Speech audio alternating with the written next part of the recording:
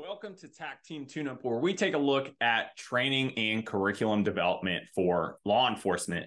Now, in this episode, I just wanted to talk about what we do within the academy from a physical preparation standpoint, but primarily from an assessment piece. Now, another episode talks about you know why we do physical ability testing within the police academy I just want to talk about what that kind of looks like for us. So think of this as kind of not necessarily a case study or case review, but just what we're currently doing and why.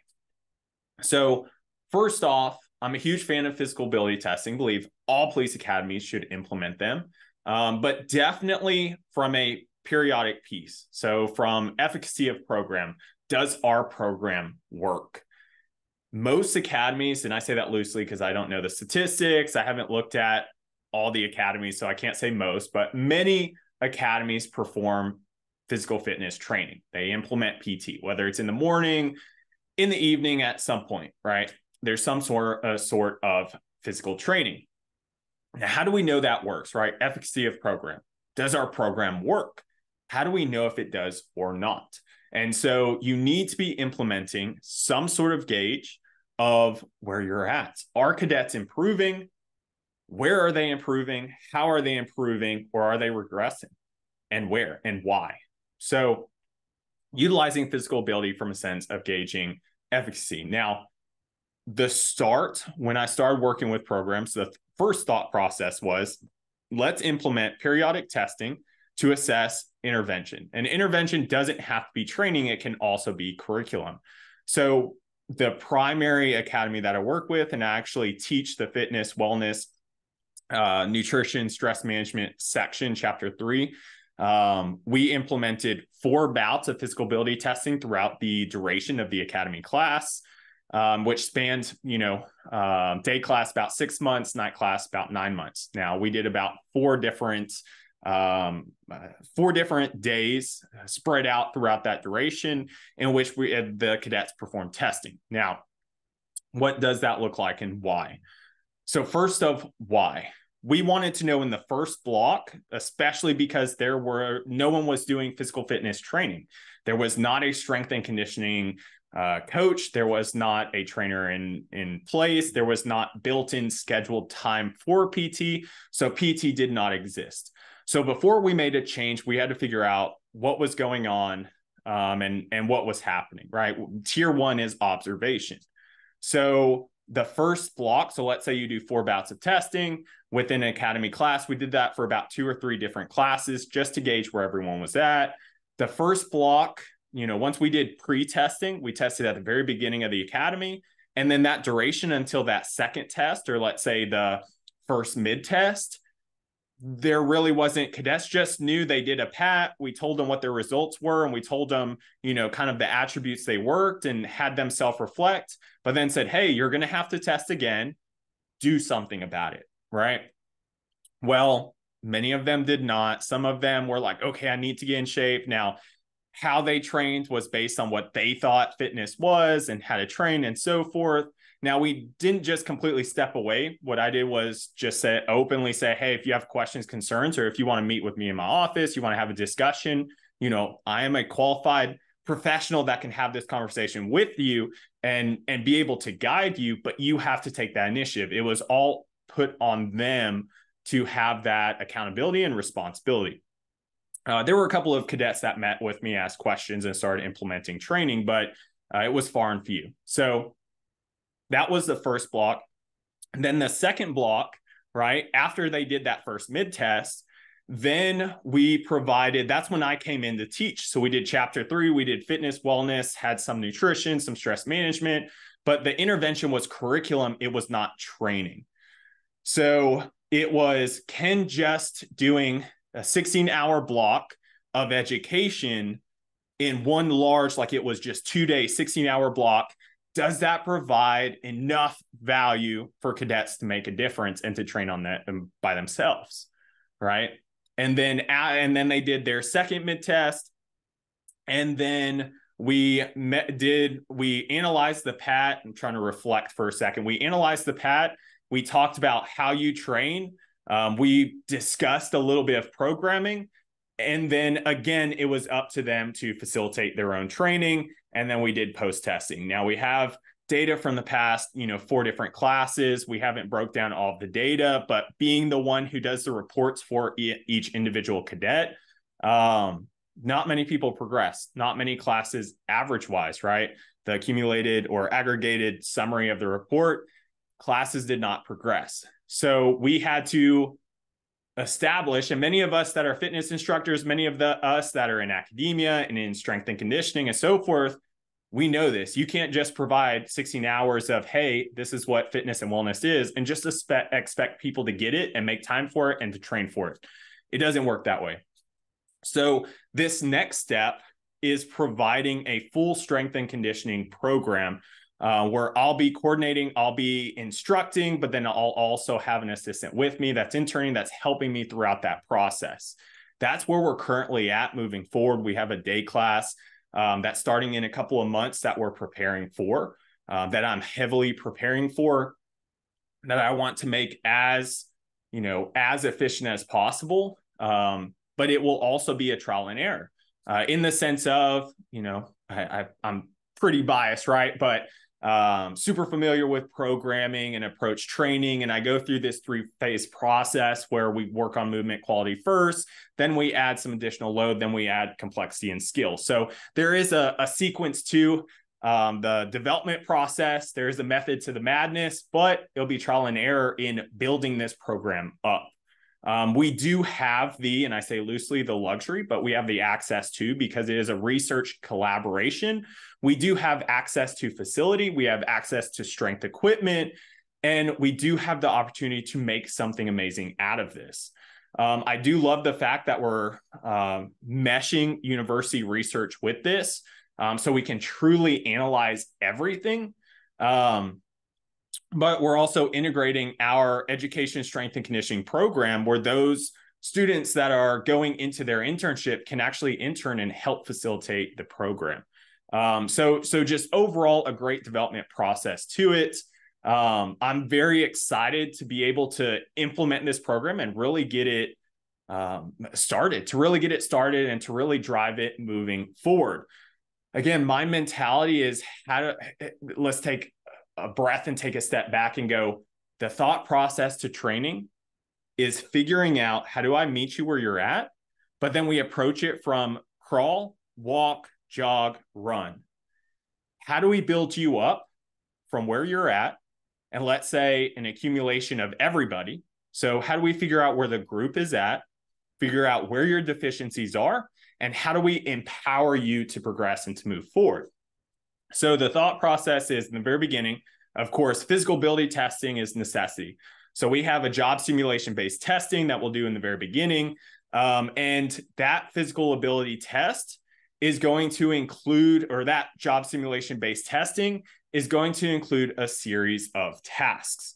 Um, I, I can't remember the exact number of tasks as I'm talking about it. Maybe you count and you go, oh, okay, it's eight, it's nine, it's whatever. But it's a series of tasks that should reflect job tasks that you'll perform in the field. So, first one is doing a kneeling to standing um, task. Can't use your hands, right? You have to start on both knees and then you go to a standing position. You're able to move forward, right? Can you actually get up uh, without utilizing your hands or arms for support?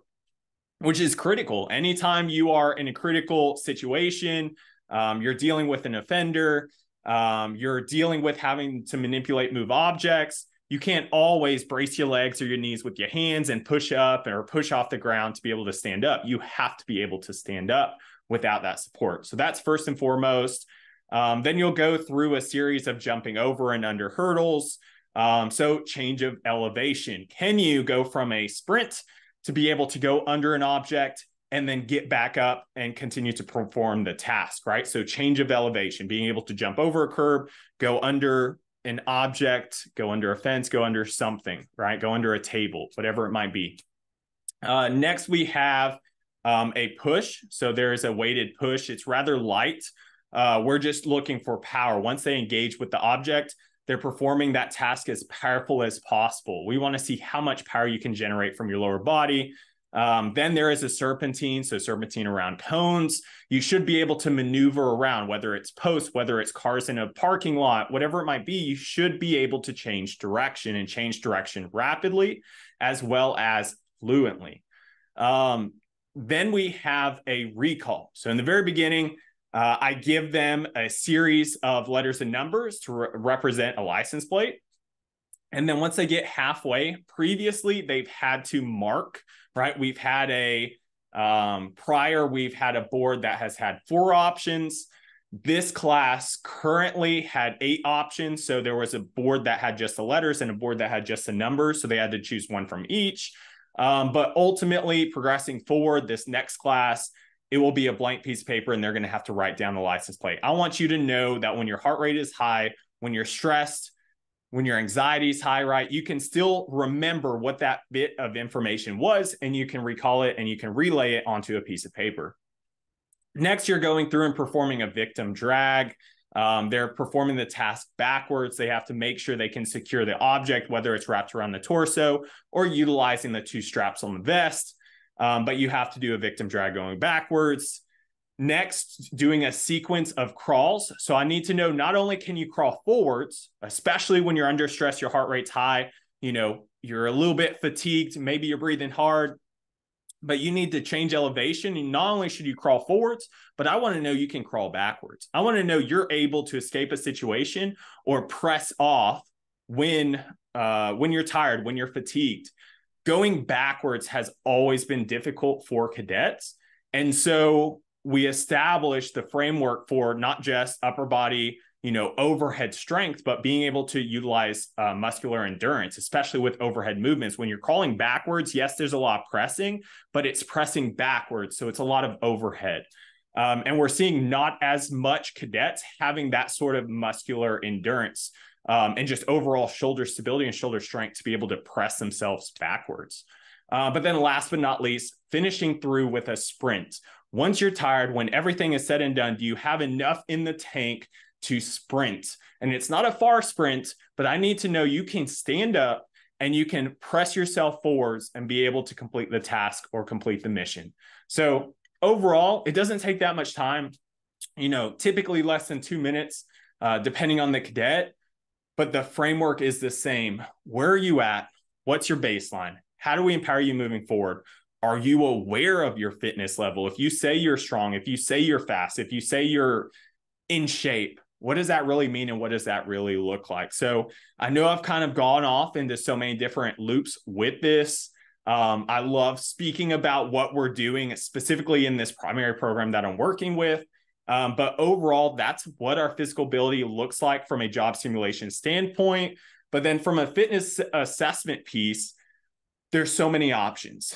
Um, I've recently integrated more visiomotor testing. So looking at, and you can look up Dynavision D2. So utilizing a visiomotor board to where we're looking at reaction time. We're looking at peripheral function and FOV, being able to identify um, targets, being able to identify threats, being able to create a pattern in your head and initiating and executing a reaction uh, or an action in general, but it's a reaction to the light, um, as well as cognitive load.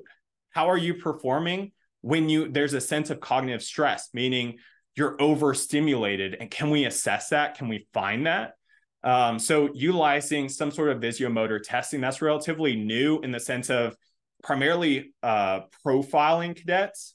You know, where are you at? We're not doing really before afters. We haven't really gone down the rabbit hole of thresholds and so forth.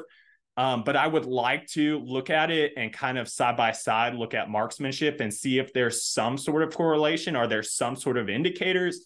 And can we move forward with that thought process? So that's another avenue um, we implement DARI motion from a movement assessment piece. That's the luxury of working alongside a research um, exercise physiology lab uh, that has a tactical research team uh, where I serve as the uh, tactical strength and conditioning SME.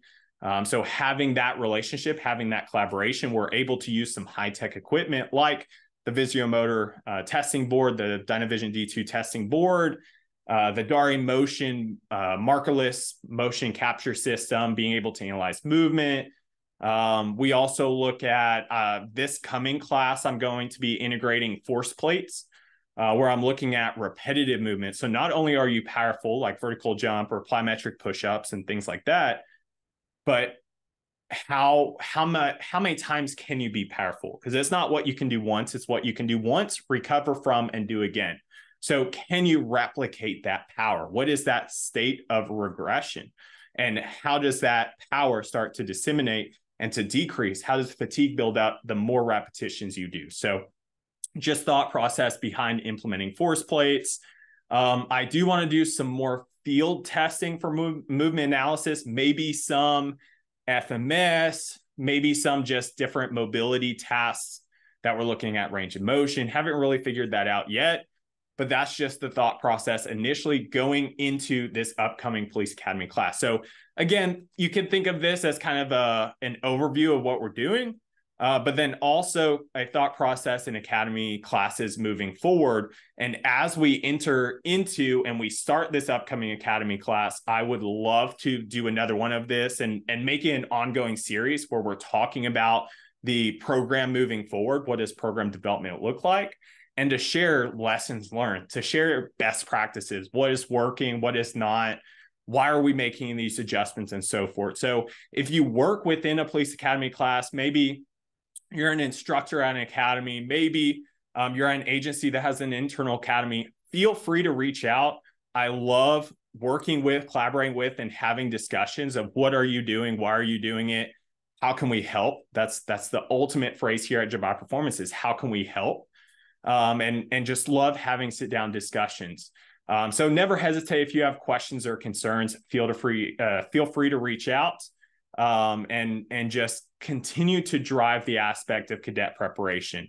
How can we not just don't just try and break the cadets? Don't try and just ingrain work hard. Like work hard should already exist. How do we truly build a frame for a framework of where you're at and build upon that. Use assessments as a piece or a gauge, a, measurement, a metric of where you're at, and then implement testing periodically to figure out the efficiency, the efficacy of your program.